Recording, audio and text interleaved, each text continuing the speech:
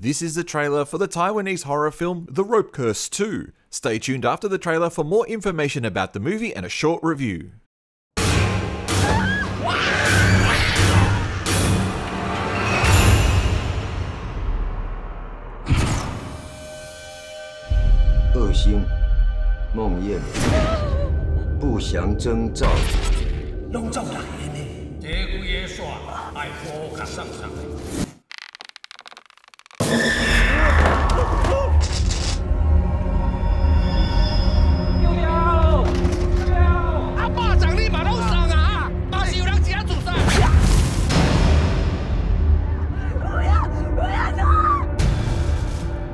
记得五年前咱拄着迄个煞无？我感觉迄个邪灵哦，随时拢咧找机会想要出来。阿姨，不要再揉了啦！快放下，快放下啦！那是泰国最凶的邪灵鬼师傅啦！阿姨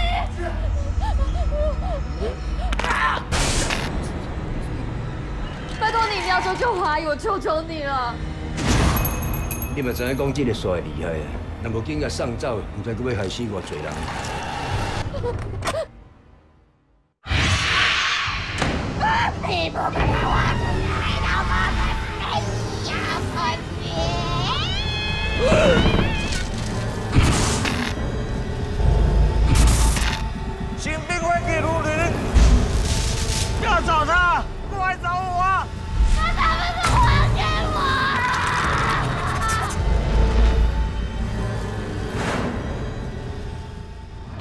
The Rope Curse 2 is about a group of YouTube ghost hunters who live stream a ritual where a demon is captured in a rope and destroyed.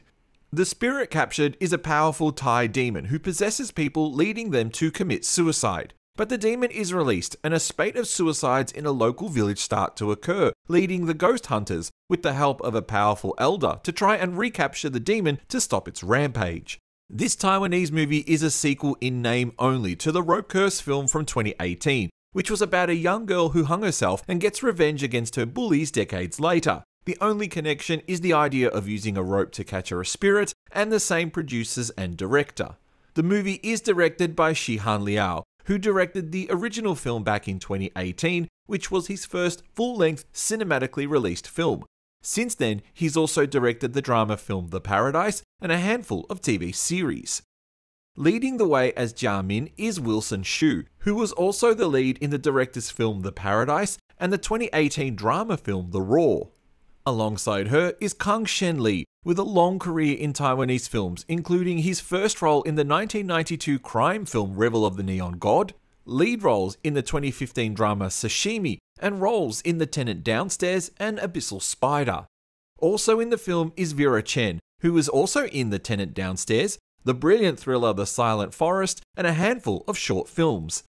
The movie released theatrically in Taiwan on September 2nd, 2020, with a worldwide web streaming release on the 29th and 30th of December in the same year, depending on your territory. The movie isn't as strong as the first film, and the use of the YouTube and found footage style aspects of the film drag the movie down, targeting a more youthful audience than the original film. Using our patent pending ghost rating, which stands for great horror or stupid trash, I award this film 3 ghosts. Even though it isn't as good as the first film, there are enough spooks and scares here to keep your interest, and the Thai demon element is a nice touch, even if it is a little convoluted to follow. The acting is a little spotty from the female lead, who doesn't show too much emotion, and perhaps 10 minutes too long, but this one is worthy of your time if you're after a decent curse film. Stay tuned for more trailers and reviews about films here on We Love Asian Horror. Press like on the video and subscribe to support us. Thank you, and we'll see you next time.